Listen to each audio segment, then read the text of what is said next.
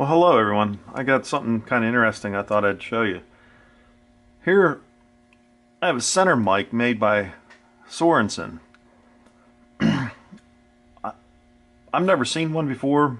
I don't remember how I got it. It was probably a yard sale or something that I was at.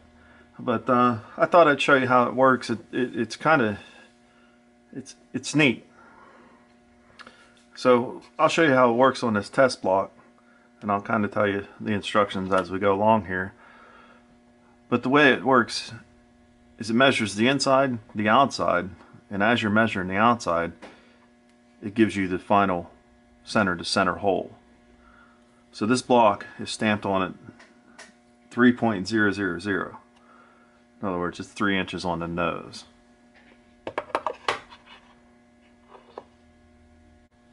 Okay, so what it says to do, it says Move A against B and 1 tight.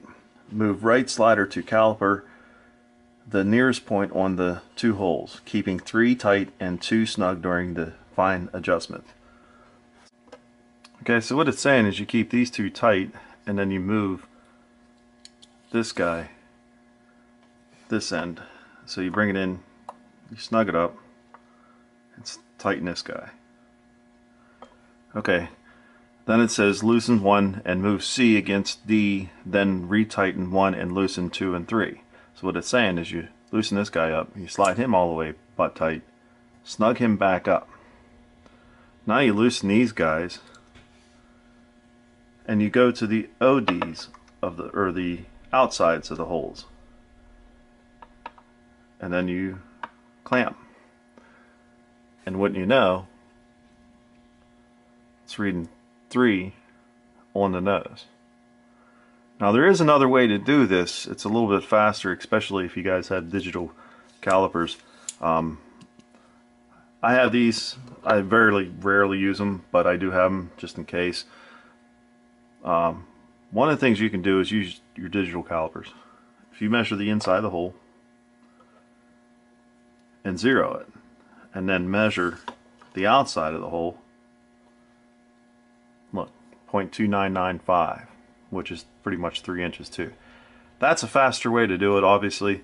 Um, but I thought I'd bring out this tool just to show you because it's a it's a really interesting tool. So on one of the pieces I've been working on in previous videos you saw this piece here. So I need to find what the diameter is of these holes.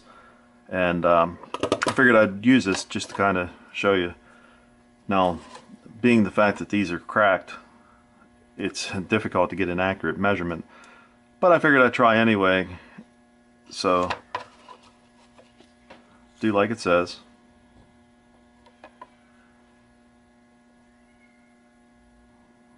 Get it the best we can.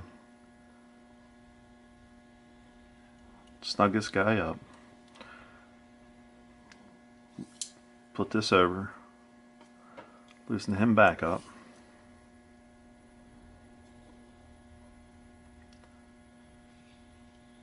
And tighten it. So, looking at this, you know, it's three inches. It's past the three. Then it's also past the, the first line after the three, which is 25. Each line on these guys here is 25. So this would be 3.3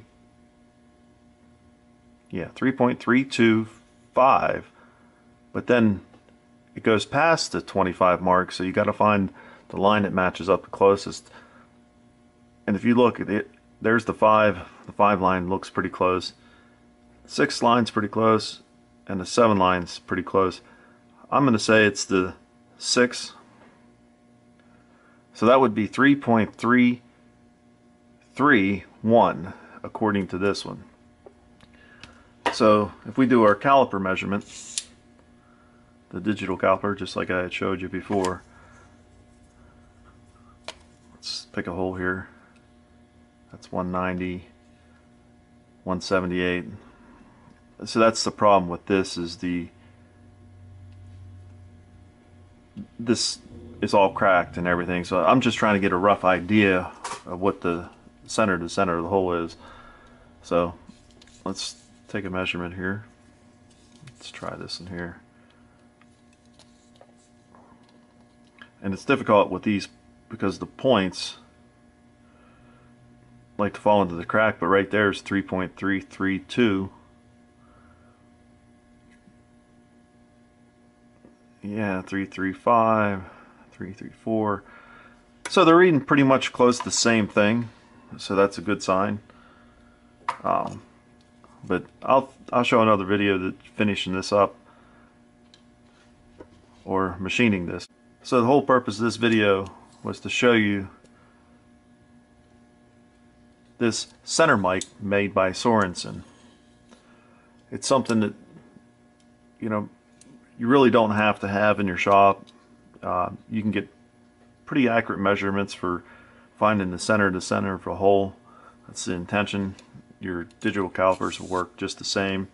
Um, it's all in what you're doing. I don't use these very much, but they are very nice to have.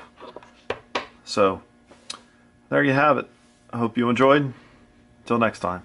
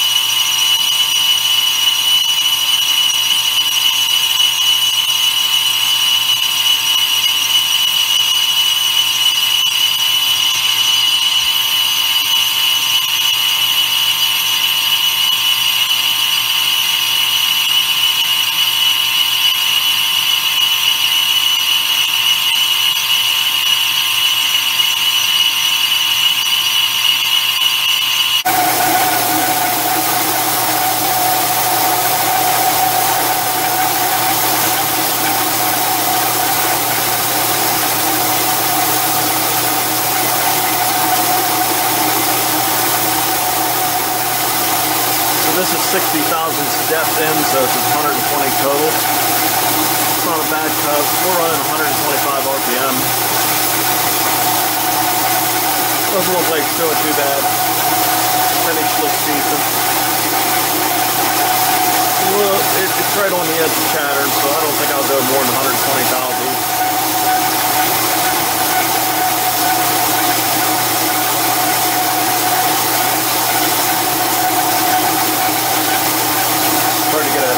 nice pile of chips all over the floor and stuff.